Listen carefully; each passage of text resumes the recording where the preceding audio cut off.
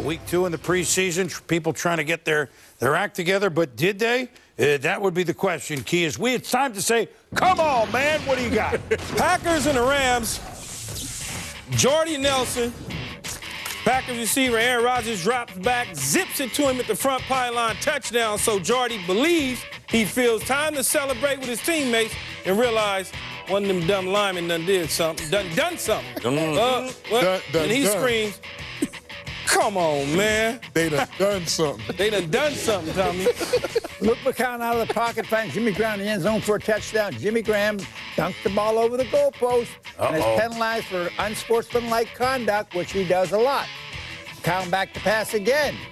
Finds Graham again for a second touchdown of the night. Jimmy dunked the ball again and is assessed another unsportsmanlike penalty. Come on, man! Big punting competition coach in Carolina.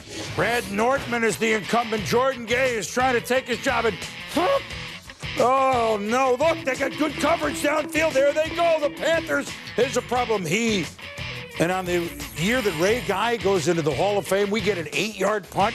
Not the way to unseat him on the chart.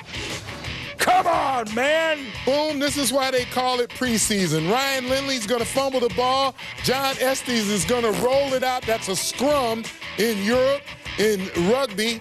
And then Zach Bauman uh, was the one that picks it up and runs it in for. Look look at that. Roll it out.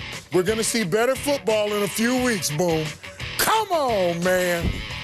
Oh, Tommy, we're going to stay there in Minnesota. You're going to like this one.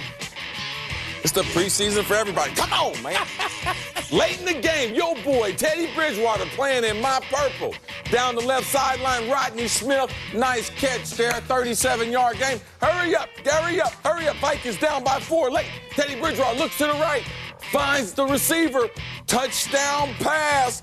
Vikings win late. Teddy Bridgewater is the hero.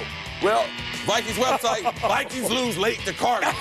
now, you got to stop that losing attitude. It's the preseason for the dot comers. Come on, man. Kid, don't you know anybody over there? Come on. They, they're so used to losing lately. he just wrote it up.